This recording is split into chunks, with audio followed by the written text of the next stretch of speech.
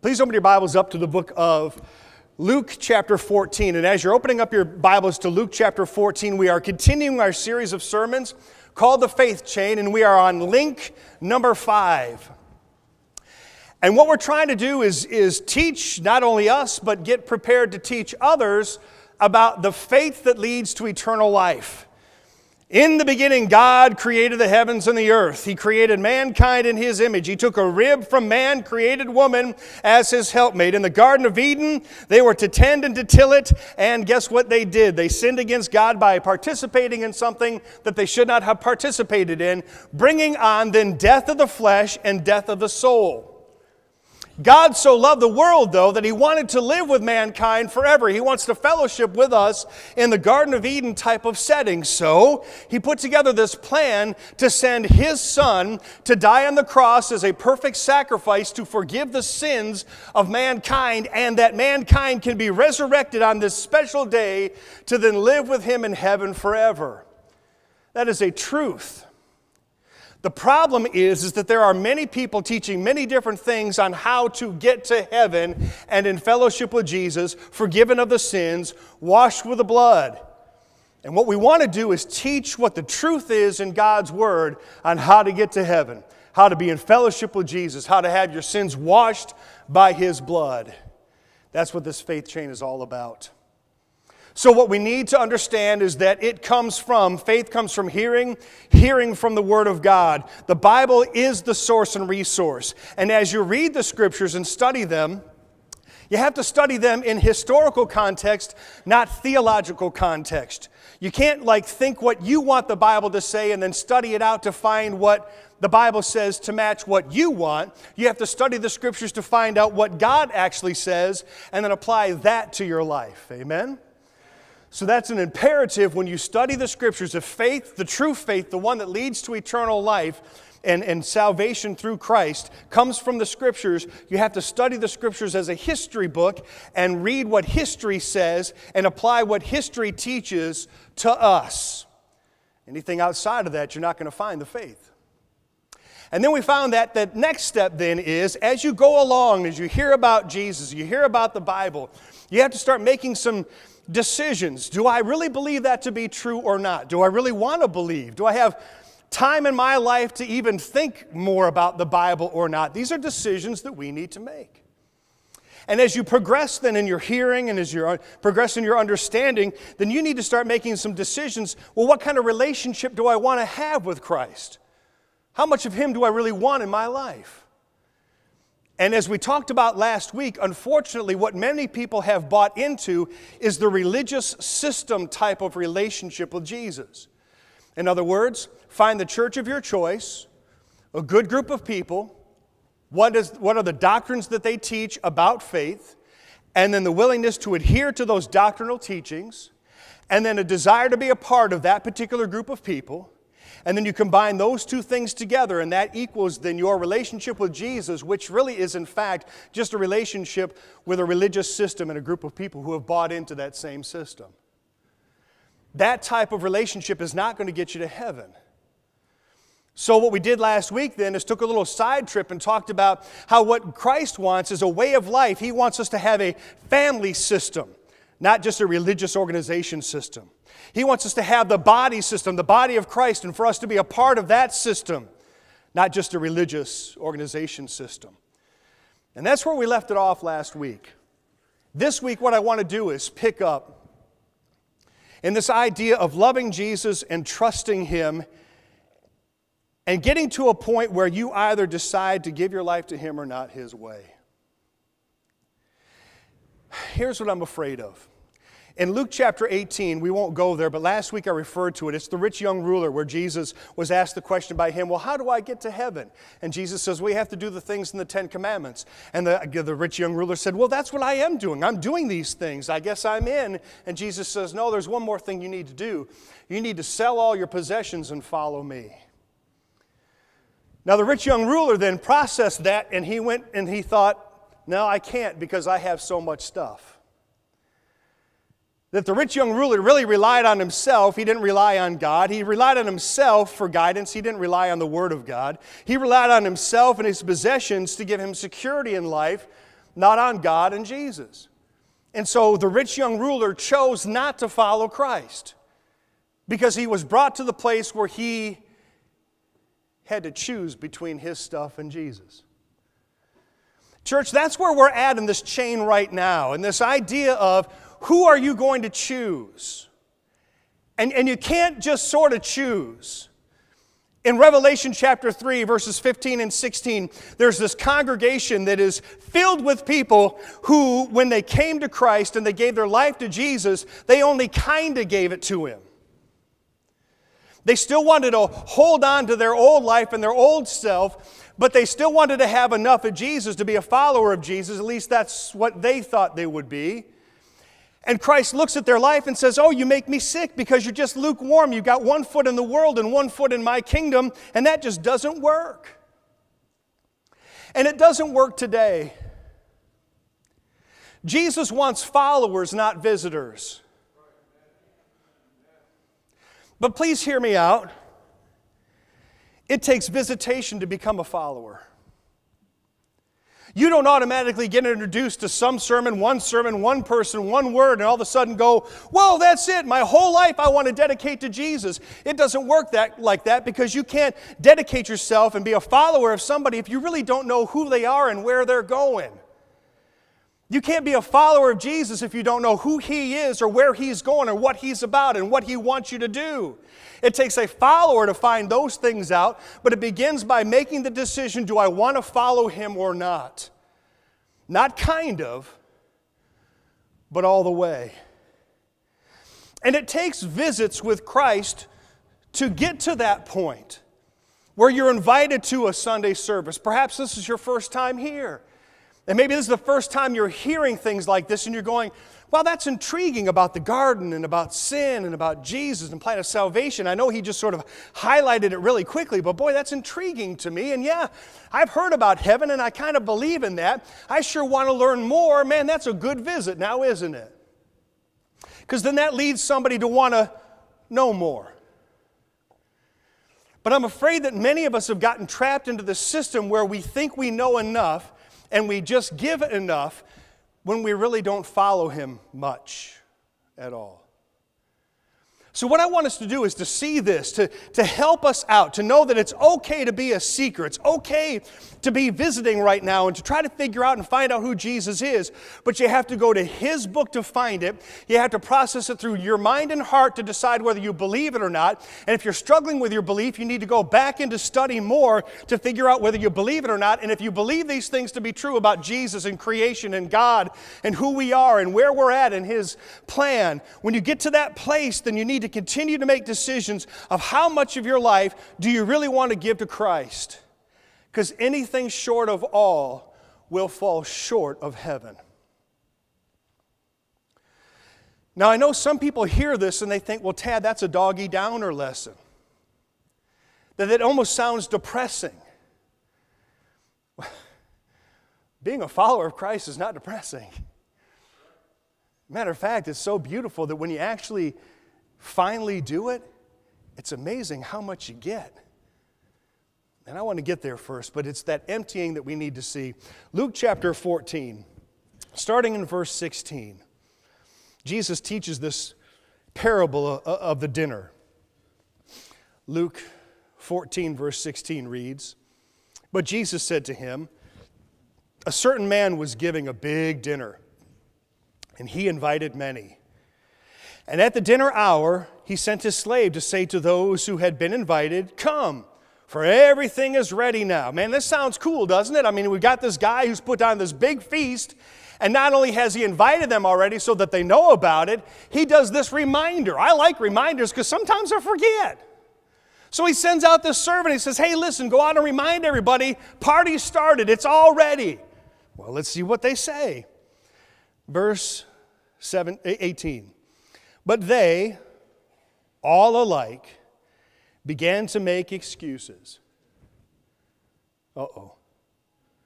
The first one said to him, I have bought a piece of land and I need to go out and look at it. Please consider me excused.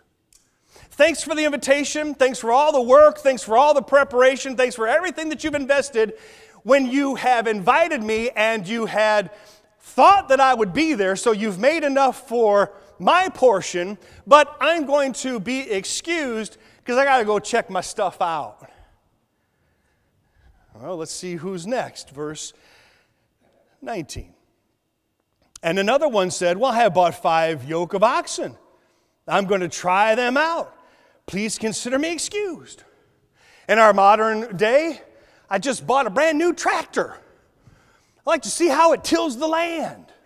Or bought this brand new hot rod. I like to see how she runs. Please consider me excused because I want to do these things for me. Verse 20. And another one said, I have married a wife. Oh boy.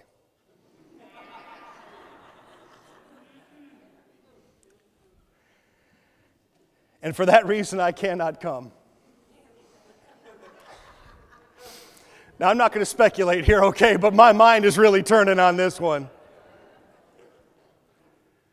But you can see at least with that when you bind yourself to another person in holy matrimony, when you say I do to somebody, you yoke yourself to them, they have a huge influence on how you see things, how you do things, when you do things, and why you do things. Amen?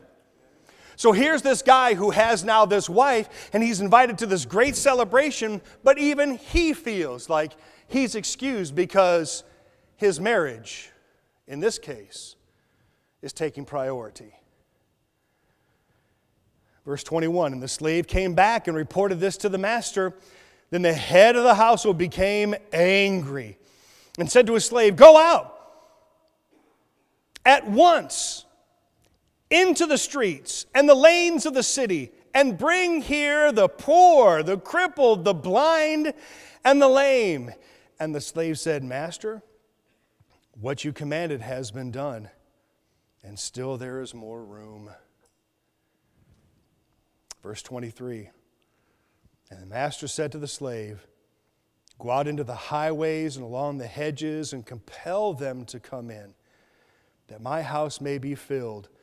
For I tell you, none of those men who were invited shall taste my dinner. Now, I could park here for a long time. This is just the introduction. This is just that idea that when the Master Jesus invites people for a feast, and there are many different ways that you can apply this idea of feast, but when he invites you to come together, when he invites you to come and eat, when he invites you to come and participate, and you have all of these excuses as to why not, his response to that is there's no way that they're going to eat with me. When that big dinner comes, when that final thing comes, don't plan on being there. You had your invitation. You came up with your excuses. You made your decision. You didn't want to follow me because of your land, because of your oxen, because of your wife, or whatever excuse you want to have. You decided to choose them over me. And so when it comes down to it, you're not going to get what I have to offer because you weren't there to get it. Now, watch how this works into verse 25. Now, great multitudes were going along with Jesus, and he turned and said to them, If anyone comes to me and does not hate his own father and mother and wife and children and brothers and sisters, yes, even his own life, he, say it with me, cannot be my disciple. Now, last I checked, cannot means cannot.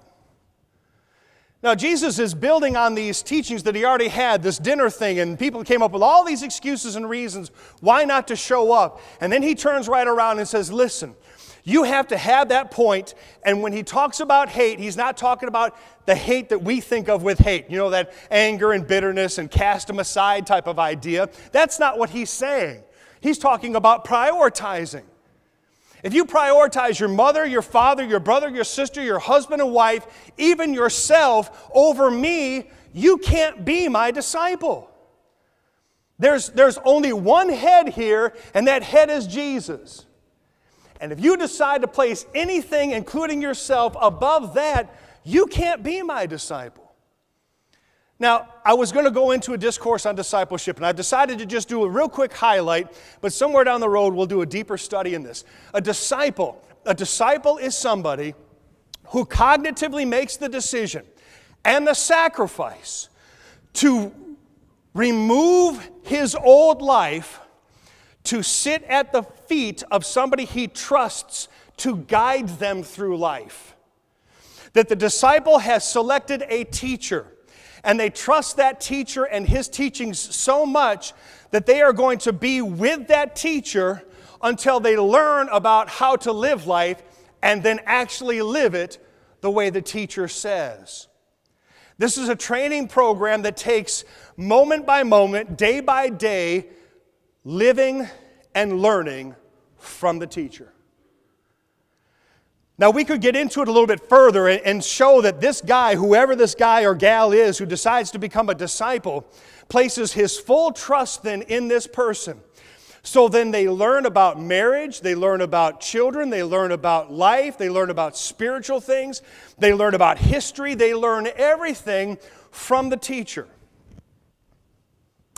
And then they learn how to apply those things to their own life. And when they get it down, they then go out and they make disciples of who? Of their teacher. Now you can see how you have to trust and love and believe in a teacher to such a great degree that you would be willing to say, that person is the way I want to live life in every measure of life. You can't do that half hearted now, can you? That's a decision that is a life changing decision where you now believe that this person's teaching is what life is supposed to be all about.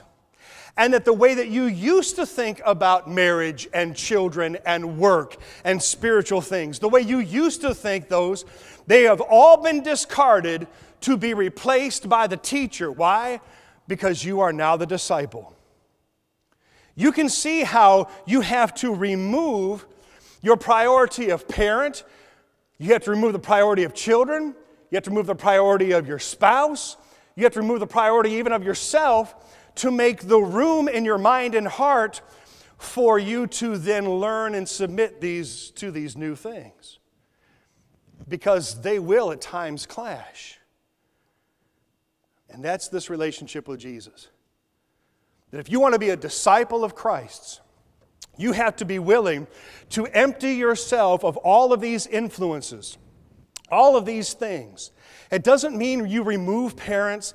It doesn't mean that you remove children. It doesn't mean that all of a sudden you become some sort of monk on a mountain in the middle of nowhere in some sort of room chanting chants and reading scripture. That's not what it's talking about was talking about is you remove those things as the priority and influence that Jesus and his teachings become top notch, and that you focus on learning all there is to know about those things so that as you look to your mom and your dad and your children and your spouse, you're going to apply what he says to them. And now you're a disciple. But to do that, you see how much commitment you have to have to do that? It can't just be a visitor mentality. It, it can't be, well, if I go to church a couple times a month, if I go to Bible class on Wednesday night a couple times a month, that'll be enough. It won't be. Jason did a study with his kids that said that if you went to class on Sunday morning, Sunday worship, Sunday night, Wednesday night, from the time that they were in kindergarten until the time they graduated college age. That just with that amount of time in church, you'd graduate with a third grade education biblically. I don't know about that. Doesn't seem to me to be a disciple. And that's if you made it to every class on Sundays and Wednesdays. You see, what I'm afraid of is that many people have been taught that it's okay to show up every once in a while, this visitation mentality, and all you then get is these disconnected, you get these disconnected teachings, these disconnected stories, these disconnected thoughts about the Bible. And, and, and many times people show up to Bible class, particularly adult Bible class, and some of the things that are taught in Bible class, adult class, go right over their head because they don't have the foundation built up to understand what's on the roof. And so you have these good hearted people who really want to come and they want to visit, but they don't have any foundation, any structure because they're in this visitation program with Jesus. And so then they start to get frustrated and they lock down and then just kind of stay right where they're at. And the fault is not the church. The fault is not your parents. The fault is not the children. The fault is not your spouse. The fault lies within the hearts and minds of every single individual. You cannot and nor can I blame anybody else. It's our journey, it's our faith, it's our decision. And what we need to be made aware of is that Jesus wants us all to be disciples of His, to fill our minds and hearts with His teachings, and to fill our lives to act and live like He teaches us to act to live, so that we can be the family of God, so that we can be His body on earth, to then show the world what He looks like through us. And the unfortunate thing is, is that, boy, dare I say it, I'm afraid that the church, from time to time, gives a really poor image of Jesus, misrepresenting what he really looks like. And I have the answer for the problem. It's because we're not disciples, we're just visitors. Now, again, it's good to be a visitor so long as you're making progress and, and you don't give yourself wholly over to Jesus right away. It takes that, that I'm going to show up, I'm going to listen to what he has to say, and I'm going to pray a little bit more, and I'm going to read a little bit more, and I'm going to understand a little. I'm going to ask a few more questions because I'm not quite comprehending the historical context here, but I heard the preacher say that. So it's this journey of wanting to know a little bit more because to give your life wholly to Christ, you have to love him with all your heart and trust him with everything that you are to be a follower of Christ, and that takes a huge commitment, not part time. So here we have now this verse 27, Luke chapter 14. Whoever does not carry his own cross and come after me cannot be my disciple. So we've gone from this prioritizing in the relationships that we have, including the relationship that we have with ourselves to now having this idea of Jesus teaching what you need to do is carry the cross. The cross is an emblem of what? Of death. If you don't bear this, this, this idea of death to yourself and life through me, you can't be a disciple of mine. In other words, you're going to have to kill off the old self. You have to bury those old ideas and that old way of life and those old priorities and then come up and have a new life through me. Because when you do that, now we're on to something. Now you've opened up the room in your mind and your heart for me to fill it with truth and spirit and give you a new way of living life so that it accurately reflects a disciple of mine. We don't want disciples of the Sunset Church. We want disciples of Jesus. We don't want to have family members of the Sunset Church. We want to have family built upon the foundation of Christ where we are blood relatives, the blood of Christ, and of course, physically tracing back to who we came from. We don't want to be a disconnected body at the Sunset Church. We want to be a unified body of Christ, working together, knowing what our plan and our purpose is in serving Him, knowing where our place is. Am I a finger or a fingernail? Am I a toe or am I toe jam? Where do I fit in the body of Christ? So that we can work together as disciples in Him. But watch this now. Verse 28 For which of you, when he wants to build a tower, does not first sit down and calculate the cost to see if he has enough to complete it.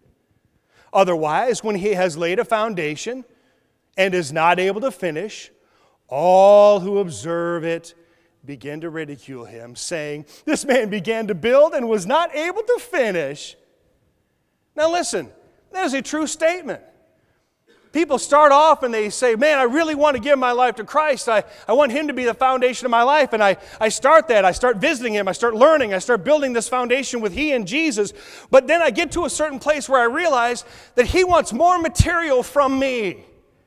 He wants more of me. And I didn't count that cost because that means sacrifice and time and effort and sweat. It takes a lot of work to build a house.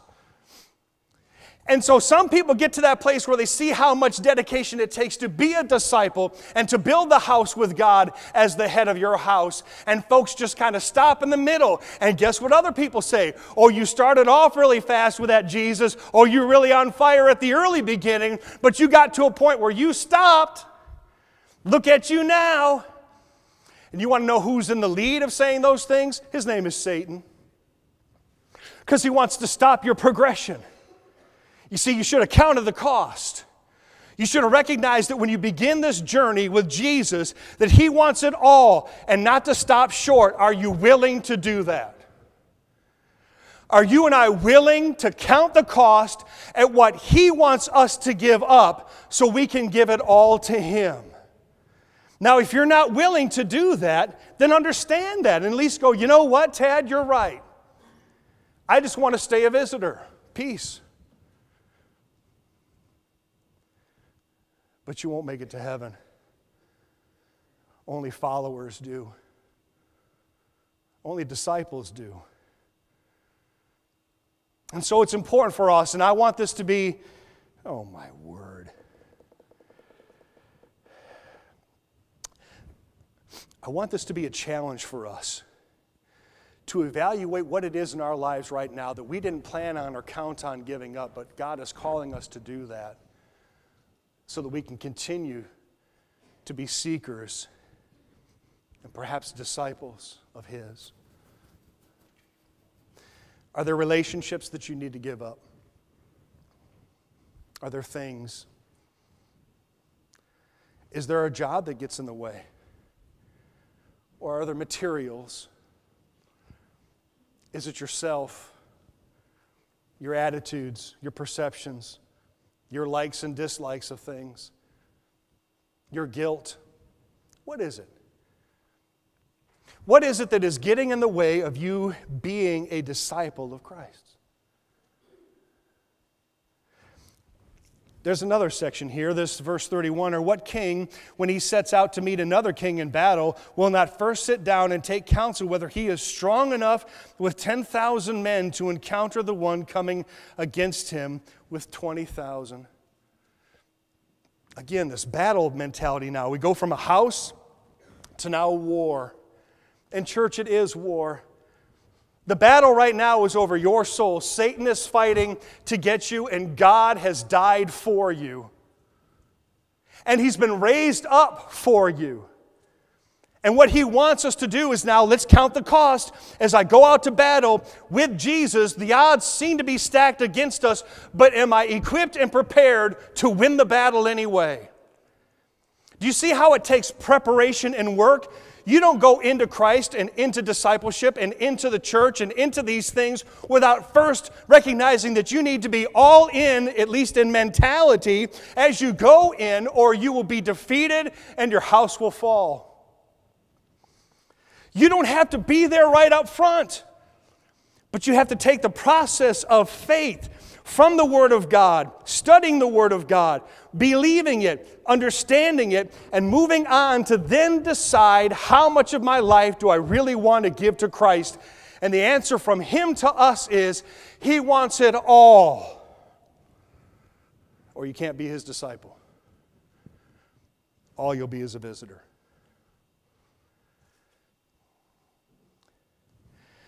In Luke chapter 9, verse 23, Chris Kinsey, if I don't give this scripture, he might explode.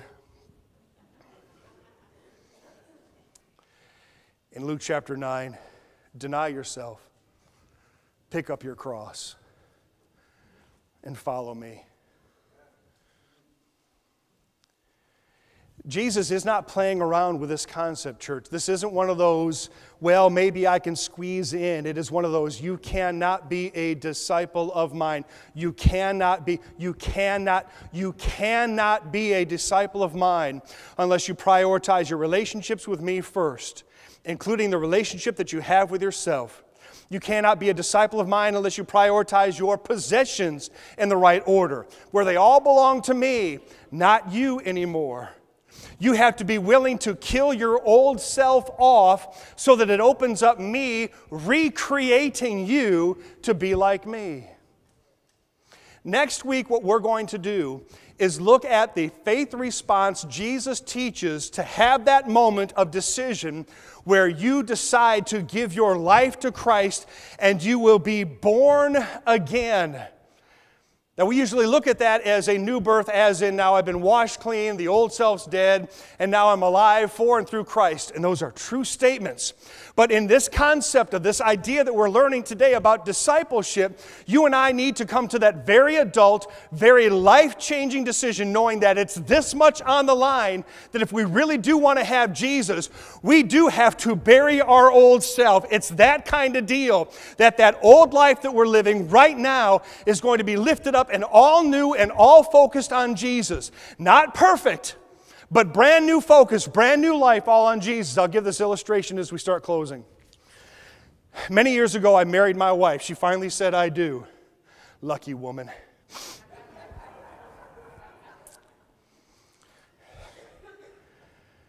we are so much different now, 30, almost 32 later, years later, having met. But when we first said I do to each other on that altar, I knew what I was getting into. I knew that when I said I do to her, it meant death till us part. And I knew that I didn't know everything about her and she didn't know everything about me, but what I did know is that whatever it is that we learn about each other, we're going to do it together. And that I was signing up for a journey of a life change that part of Tad Masteller died the day I went to the altar and said, I do to my wife to make room for my wife to become part of me. There couldn't be all Tad saying, I do to Libby, and have Libby then conform to all Tad. That's not a marriage, that's a dictatorship. What I needed to do is recognize that my life is not complete without her, so I need to empty myself to let her come in and tie in with me. And as we grow through life together, as I learn more about her, I can be more of what she wants me to be, and she'll be more of what I need her to be, so the two of us can be one and continue to be in love. And I've had to make sacrifices, and oh, has she had to make sacrifices for me. But we do it because when we said I do, we knew what we were getting into. Church, it's that kind of decision with Jesus. It's not this, well, I'll go through the steps and I'll get baptized and I'll be added to the church and figure it out later. You need to figure out enough now to count the cost and know what it means to die to self and live for Jesus. My lovely wife was baptized, and I don't mean this as literally immersed into Christ, but she went through the act of baptism when she was 14 years old because her best friend next to her nudged her and said, Now's the time we do this in the Church of Christ. So she got up and she went. Now, for many years after that, my wife served diligently in the church. She taught, and she's a great servant, but she came to a conclusion many years after her first baptism that she really didn't give her life wholly to Christ that day. That she didn't empty herself and start anew. That she didn't make him the Lord, I mean, absolute Lord of her life at that time. So then she wasn't rebaptized. She was baptized for the very first time into Christ by having her old self truly be buried and then receiving Jesus as her Lord and Savior. And from that moment on for her, and from that moment on for me, when I went through my own immersion into Christ, I have continued to pursue Jesus as his disciple, as imperfect as I am. But when I mess up, I recognize it eventually, and I ask for forgiveness because I don't want to lose contact with my Savior, my Lord, my guide, my teacher, my groom, Jesus Christ. And so I progress as a disciple. Because I understood the commitment I made to Him when I died to myself. So, church, as we get into next week's study, it's a great time to take notes because this is where many church organizations divide over how to actually give your life over to Christ. This morning, I'm asking you to do it. You have to be baptized for the forgiveness of sins, immersed into a tomb, and bury your old self. It's the way He teaches. And if you have not done that yet, please, if you want to give your life to Christ, not just as a, well, it's just a little quick response, but truly as giving your life wholly over to Him, where He will be the guide to everything in life, boy, we sure would be excited to help you. And if you are a member of the Lord's church today and you are recognizing that you have just been in this recent funk of visitation and that you have lost step as a follower and that you have not been sitting at the feet of Jesus as a disciple, then we ask you, if you would wish to do so, come forward and ask for help, ask for forgiveness, and we will help you be reconnected to your King and mine, Jesus as we stand and sing the song of invitation.